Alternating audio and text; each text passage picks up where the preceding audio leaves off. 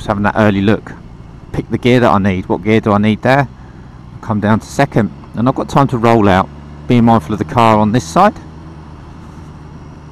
Bit of water there as well. Check in, mirrors coming over, back in.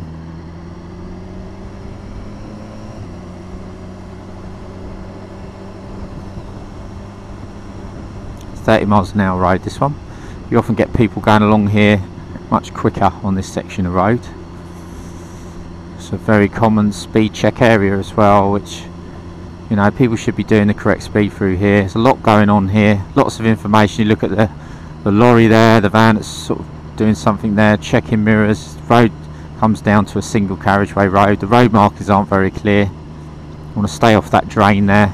Be mindful of the petrol station. Lots of vehicles coming in and out of there. Pedestrian crossing junction. I'm going to check in there taking my normal driving riding position here.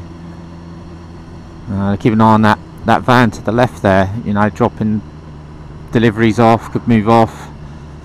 You know, sort of keeping out. If you can stay out. No oncoming traffic here. So I'm going to stay quite close to that line there. So I'm away from the danger on the left that way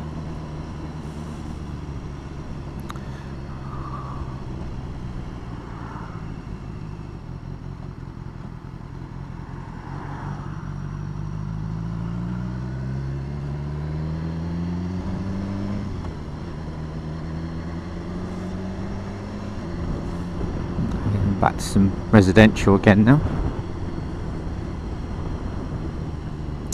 So let's see what that vehicle's doing. So again, information, vehicle behind as well, vehicles ahead. Let's see what they're doing.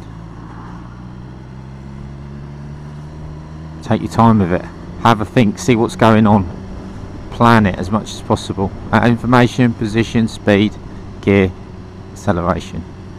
Doesn't mean you've got to accelerate but it's there if you need to. You might just have a steady acceleration for what's going on. The more controlled and balanced we are on the bike the better really. So you've got crossroads coming up. Give way up there.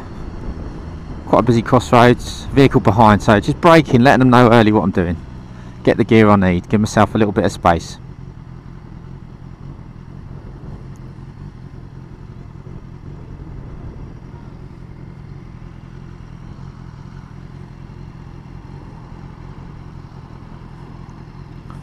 Just going to take a left here. A bit busier that way.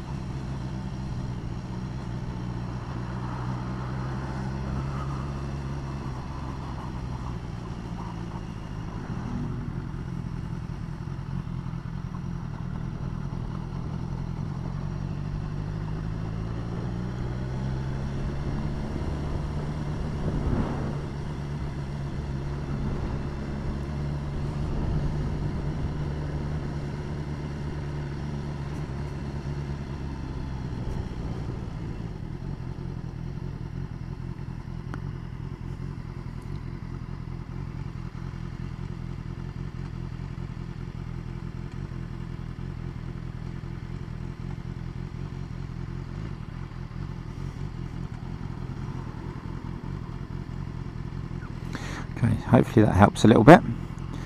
So, when you come to stop, good secure place for the side stand to be put down.